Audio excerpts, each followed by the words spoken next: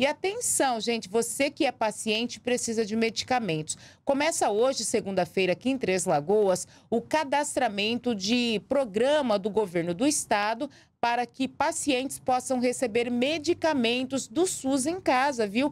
A nossa equipe de reportagem acompanhou a chegada desses medicamentos e traz os detalhes do projeto.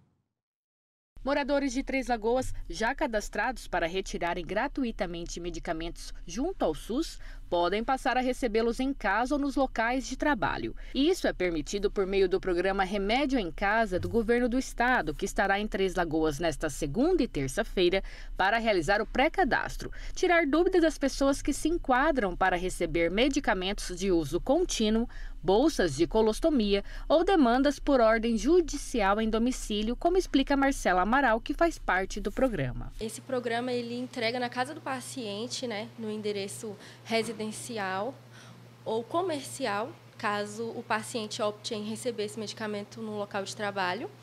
É, esse programa ele é direcionado para os pacientes que fazem uso dos medicamentos da do componente especializado da assistência farmacêutica. O paciente ele tem que preencher um termo de adesão ao programa né, na unidade de saúde, onde ele já retira esse medicamento todo mês ou aqui no núcleo regional. Para contar com benefício, a pessoa ou alguém responsável por ela precisa ir até uma unidade de saúde, preencher um termo e aguardar a equipe realizar uma triagem.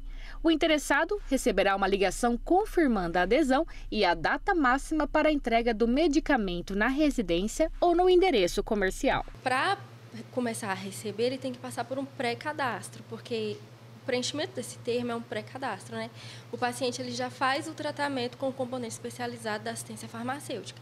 Aí, para ele entrar no programa do remédio em casa, ele tem que procurar a unidade de saúde, preencher o termo. Aí, esse pré-cadastro ele vai para Campo Grande e o consórcio LIM vai avaliar. O paciente sendo aprovado, ele vai receber uma mensagem, né, dizendo que ele foi aprovado e a data que ele vai começar a receber o medicamento em casa o paciente preencheu o termo, mas significa que ele já vai receber o medicamento em casa? Não. Ele só vai ser confirmado né, que recebeu se ele receber o contato de confirmação. Mais de 1.700 medicamentos foram disponibilizados pelo governo no mês de maio. De acordo com a Secretaria Estadual de Saúde, são 135 tipos de remédios disponíveis para entregas aos pacientes adeptos ao programa Remédio em Casa.